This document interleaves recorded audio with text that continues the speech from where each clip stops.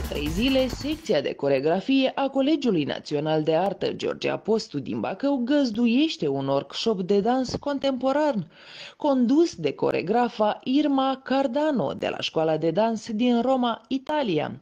Irma Cardano s-a bucurat de oportunitatea de a lucra cu elevii coregrafi din acest colegiu, fiind impresionată de receptivitatea și de dorința lor de a acumula cât mai multe cunoștințe proprii acestei minunate arte.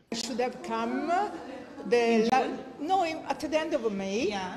but unfortunately a very bad crash accident happened to me, so I was alive uh, by miracle, and I am here, uh, and I am happy to be here Yeah. for two reasons. One, because I am alive and then I can dance.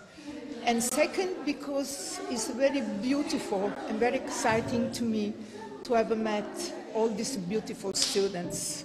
Uh, I, You were uh, delighted with our students yes, and our teacher. a lot. Yeah? And I want to thank for this uh, Mrs. Simona Baicu that invited me for that, and uh, the Collegio Nacional de Arte di Bacau, I think that's the correct to say that, that invited me to, to do this beautiful, op- give me this beautiful opportunity to stay here.